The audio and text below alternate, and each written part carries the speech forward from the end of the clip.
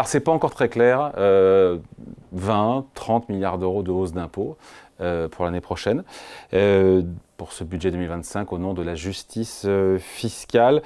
Pour certains Français, la question de l'expatriation apparaît, pourquoi pas, comme une solution possible. Et en ligne de mire, une destination qui est en vogue, et on voulait vous en parler aujourd'hui sur Boursorama, c'est l'Italie. L'Italie qui a une fiscalité, euh, on va dire, attractive. Bonjour Jérôme Barré. Bonjour David. Maître Jérôme Barré, avocat associé au sein du cabinet Yards. Jérôme, euh, on revient sur ces mesures fiscales. Notamment, il faut revenir sur le taux minimal d'imposition des plus fortunés.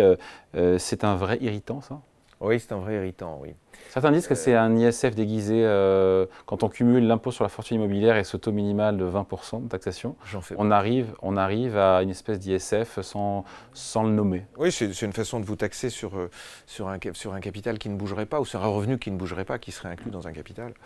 Donc effectivement, les annonces de M. Barnier... Après, après, pardon, je coupe, après qu'il y a un impôt minimal pour les riches de 20%, est-ce que c'est choquant en soi? Le problème, c'est le cumul des, euh, des impôts. Oui, mais on, a toujours l'impression, quand on a ce genre de discours, que les riches ne paient pas d'impôts. Ce qui n'est pas vrai, les riches paient des impôts, ils en paient beaucoup. On a parfois les très riches moins en pourcentage que le commun des mortels. Mais parce qu'il a, il a, il a plus de liquidité, donc il a la capacité de tirer sur son capital. Mais évidemment, quand il mange son capital, bah, c'est ce qu'il transmettra aussi moins à ses enfants. Alors évidemment, sur les... on prend toujours les mêmes exemples de gens qui sont hyper, hyper riches. Mais enfin, les, hyper riches, ils ne sont pas 25 millions en France. Sinon, ça se saurait. Donc euh, l'idée, effectivement, c'est qu'on a déjà, vous le savez, une contribution exceptionnelle sur les revenus qui avait été mise en 2012 par Nicolas Sarkozy. par M. Sarkozy, parce que son sujet à l'époque, c'était de, rester dans les 3% d'endettement de l'Europe, oui, après la apparaître des bons cow-boys. Euh, exactement. Euh, en fait, cette taxe, elle va de 3 à 4 Par exemple, dans la flat tax, quand vous avez un revenu euh, par, par, personne qui est de plus de 250 000 ou par couple qui est plus de 500 000, ben vous rajoutez 4% 4% euh, vous êtes plus sur une flat tax à 30, mais sur une flat tax à 34. Cette flat tax, on la voit sur, les, sur la revenu de portefeuille, on se dit à nouveau, c'est les revenus de portefeuille, c'est formidable, on s'enrichit. Mais quand on cède son entreprise, son outil de travail, sur quoi on a travaillé toute sa vie, on est à 34 donc le, sujet est, quand même assez, assez, assez, important. Et effectivement, si on arrive à des taux... Euh, ça devait être temporaire à l'époque, cette contribution exceptionnelle. Contribution exceptionnelle. 2012. Elle est exceptionnellement chère. Euh, et, finalement, euh, vous avez des cadres dirigeants, ça affecte aussi énormément leur, leur, rémunération. Alors, on est sur des grandes rémunérations, on ne va pas dire le contraire.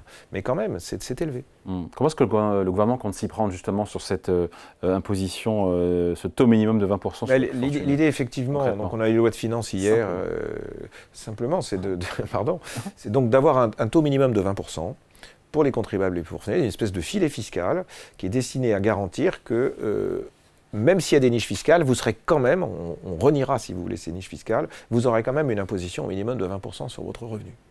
Et toute la difficulté va être de savoir comment, effectivement, on s'inscrira, parce que euh, vous avez des mécanismes quand vous avez des sociétés qui sont à l'étranger et qui sont dans des paradis fiscaux, où on vous taxe à l'intérieur de la société comme si les revenus vous les appréhendiez vous-même, et on prend un écart de valeur entre le 1er janvier et le 31 décembre. Et là, on vous impose une, fiscalité minimum, quand bien même elle n'est pas distribuée. Là, on va voir comment les choses vont, se mettre en place. Mais effectivement, euh, ce qui est irritant, c'est qu'on peut être à 66% de taxation. Quand on va arriver à 70%, si c'est le cas, euh, ça, va, euh, ça va commencer à ronfler. Le Conseil constitutionnel nous dira que c'est. Parce Conseil d'État, Conseil constitutionnel, non? Conseil constitutionnel, Qui effectivement. Dit que c'est confiscatoire. Exactement. La difficulté, hein. la difficulté, c'est que vous ciblez une population, mais vous ne pouvez pas dire je ne prends que celle-ci et pas l'autre. Ce qui veut dire que tous ceux qui sont juste en dessous, de ce, juste en dessous des très très grandes fortunes vont tomber dans le sujet. Et on sait qu'à chaque fois, ceux qui sont touchés par ça, c'est les classes dites moyennes supérieures. Hmm. Et on ah, recommence. Supérieur plus plus, mais on recommence à taper dessus. Et pardonnez-moi, mais des, taux à 66%, quand vous vous comparez à d'autres pays, c'est un peu. Eh bien justement, l'autre pays aujourd'hui, c'est ben, l'Italie. L'Italie. Euh, qui apparaît de plus en plus comme une option intéressante pour les expatriés. Pourquoi? Alors déjà l'Italie, depuis de, nombreuses années, elle a essayé de, elle a été vraiment attractive, elle a tout fait pour que ça se passe bien. Et, alors, parce qu'on pense souvent à la Grèce, au Portugal. Oui. Pourquoi l'Italie? Oui, alors l'Italie, la mer est plus chaude qu'au Portugal. Euh, fin connaisseur. Hein. exactement. Et Portugal, c'est l'Atlantique, donc c'est sûr. exactement. Même si, même si le sud, euh, c'est, non, ça reste, ça reste une mer froide. Et puis il faut avoir des bons mollets parce que Lisbonne, c'est une ville en pente. D'accord. Voilà. des règles pratiques. Alors, c'est la mise en place d'un forfait qui était à 100 000. Pression le, forfait de 100 000. Alors, forfait, c'est-à-dire que. 100 000, c'est vos zonos. Je suis plus cher. Ah, mais donc, ça veut dire quoi ça? En fait, sur tous les revenus que vous avez hors Italie, ouais. on ne cherche pas à savoir si vous gagnez 10 millions, 15 millions ou, 5, ou, 500 000 euros. 100 000. Vous êtes taxé à 100 000. Mais c'est 100 000. Comme il y a eu pression de l'Europe, depuis le 10 août 2004, on est passé à 200 000. Ça concerne très peu de gens, ça, non? Ceux qui payent euh, ah, tout de même. plus de 200 000 euros si, si, tout de même. Ça, ça, concerne pas mal de personnes. Bah, D'ailleurs, on, on, regarde, on dit voilà, les revenus sont de 500 000. Si vous prenez un tiers, euh, vous n'arrivez pas très très loin du, sujet. Et quand vous avez un million de revenus. Euh, Donc c'est les fameux 65 000 euh, foyers. C'est les fameux 65 000 aujourd'hui par le gouvernement. Exactement. Vous avez donc maintenant un taux de 200 000 qui vous exonère de tout ce qui est revenu à l'étranger. Vous n'avez pas d'impôt sur la fortune sur les, les biens qui sont à l'étranger. Ah. Euh, vous payez vos impôts en Italie sur les revenus que vous avez en Italie, ça, ça vous n'y dérogez pas. Et Faut-il avoir, avoir, des revenus en Italie? Si, alors, si on n'a pas de revenus, on n'a pas de taxation. C'est 200 000 francs par an, plus 25 000 par personne à charge. Donc quand vous arrivez avec votre épouse, euh, vous êtes à 200, ou avec votre conjoint, vous êtes à 225 000. Et puis si vous avez euh, deux enfants, ben, vous êtes à 275 000. 275 000, ça veut dire que vous êtes capable de penser que vous avez, ça vous procure une, une économie. Euh, le deuxième sujet également, qui est peut-être marginal. Mais donc impôt sur le revenu, on a dit, donc impôt sur le revenu, enfin taux minimum, taux euh, forfaitaire, 200 000 euros plus 25 000 par tête. Pas d'ISF. Pas d'ISF, ouais. Euh, si vous avez, alors si vous n'optez pas forcément pour le régime, enfin si vous optez pour le régime du forfait, mais que vous allez vous installer dans certaines provinces, le régime de taxation que vous auriez, si vous perceviez des, des, des retraites en, Suisse, en Suisse, je vais y arriver, mmh. en Italie, eh bien, vous avez un régime de 7% qui, qui, se compare à celui que vous avez au Portugal, qui était de 0, mais qui est passé à 10. Donc, c'est déjà un peu plus intéressant. Mais le vrai sujet, la vraie poire, si je puis dire, euh, ah. c'est les droits de succession. C'est par ça. Ah, ok, d'accord. Ouais. C'est les droits de succession.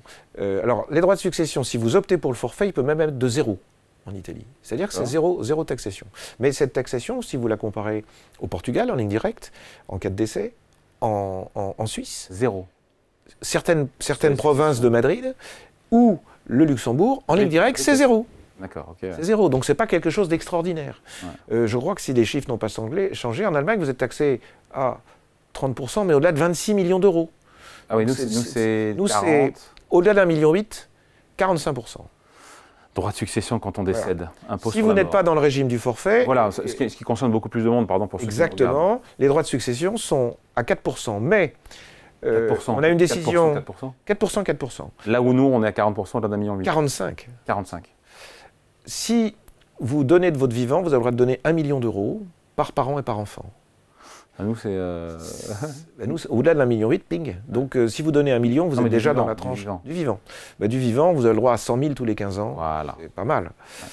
Là, c'est un million votre vie, donc ça peut, ça peut se comparer. En une fois, en plusieurs fois plus, Exactement. Si vous décédez, vous avez droit à nouveau à un million. C'est-à-dire que les 4% vont s'appliquer au-delà de ce million. Donc c'est super attractif. C'est super attractif. Surtout pour les droits de succession. Alors, il y a aussi une belle convention, donc il faut être aussi prudent. Parce que si vous êtes au régime du forfait, on s'interroge encore sur le point de savoir si vous allez pouvoir utiliser ce, mécanisme entre la France et l'Italie, parce que la Convention fait qu'elle attribue le droit de taxer à l'Italie en cas de succession. Ou au cas de donation, pour la France.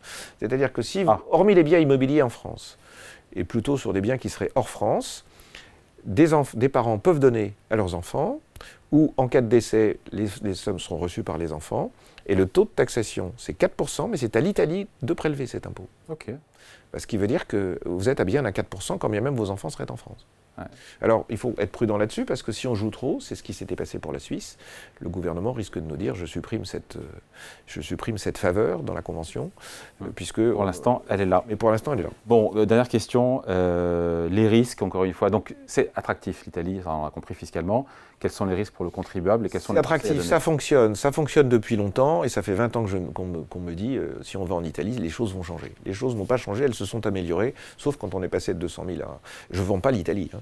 Alors, la difficulté, c'est que quand on part d'un pays, il faut vraiment partir. C'est-à-dire qu'on prend ses précautions malheureusement, si je peux dire, pour la France, pour garder le moins possible en France, surtout essayer d'éviter d'avoir un foyer permanent d'habitation, c'est-à-dire une maison dans laquelle je me rendrai à tout moment.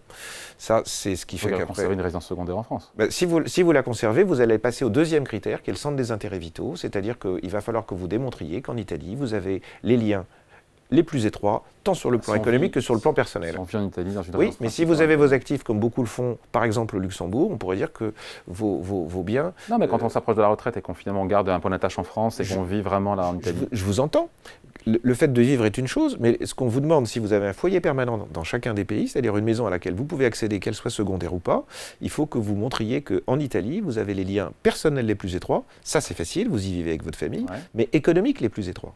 C'est-à-dire que le système où certains pensent à aller mettre euh, du cash euh, ou des contrats d'assurance vie euh, au Luxembourg, eh bien, ça, ça, ne vaut pas. On va, la France va comparer à l'Italie. Donc, ça veut dire que vous rapatriez quand même un certain nombre de choses en Italie. Ce qui veut dire aussi que si vous rapatriez des choses en Italie, vous pourrez avoir une imposition en Italie hors du forfait, puisqu'on a dit que les revenus en Italie étaient taxables. Oui, ça reste toujours intéressant. Mais toujours à des taux qui sont très très ah faibles, qui sont à 11%, 16%.